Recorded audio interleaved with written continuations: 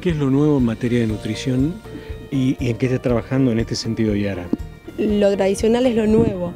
Pienso que lo que cambia son las formas de aplicación, em, las, estrategias que usamos para asegurarnos de que el nutriente está disponible en el momento adecuado, en la cantidad adecuada. Eh, y en eso creo que es donde nos estamos moviendo mucho más.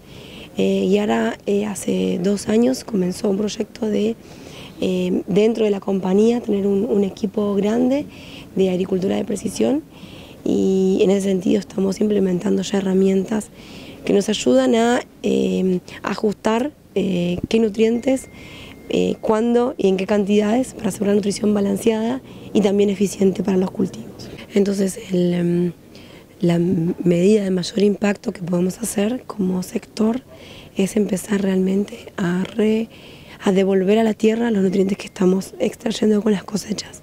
No es solamente nitrógeno, es fósforo, es potasio, son otros nutrientes. Eh, y bueno, hoy estamos todavía con una cuenta pendiente en ese sentido. Eh, esta práctica realmente nos ayudaría a mantener o a recuperar la salud del suelo. Eh, cuando hablamos de salud del suelo, un poco la definición de suelo es un organismo vivo que eh, es un individuo como tal, per se, eh, y ayuda a sostener la vida vegetal y la vida animal.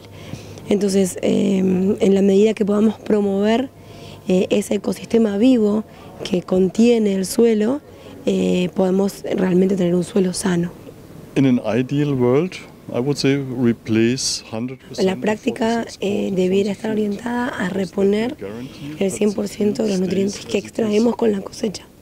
De esa manera eh, nos acercamos a por lo menos mantener el nivel de aporte de nutrientes que el suelo tiene hoy, digamos, en ese momento. ¿no? Eh, no nos va a asegurar una mejora en la condición original del suelo, pero sí al menos mantener.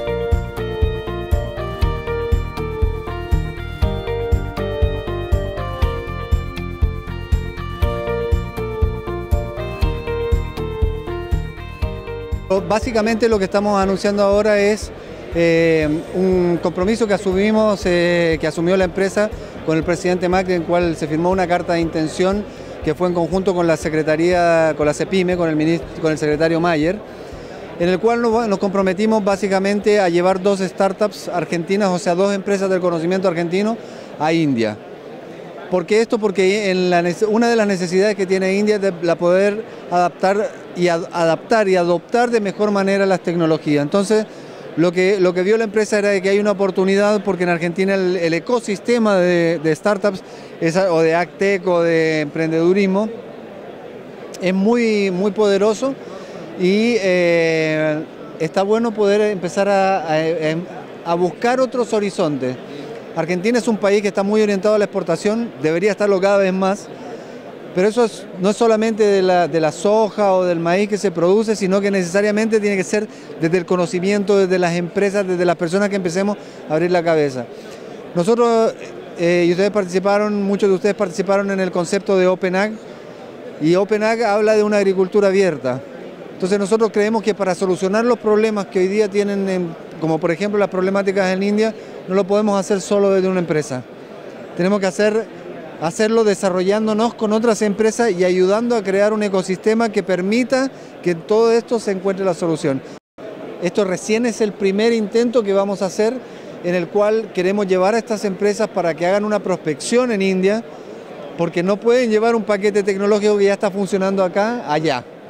Entonces hay que ir, hay que entender a los productores, sobre todo a los productores, cuáles son los problemas que están teniendo, cómo lo están tratando de resolver y de alguna manera a partir de eso construir proyectos para poder hacer eso.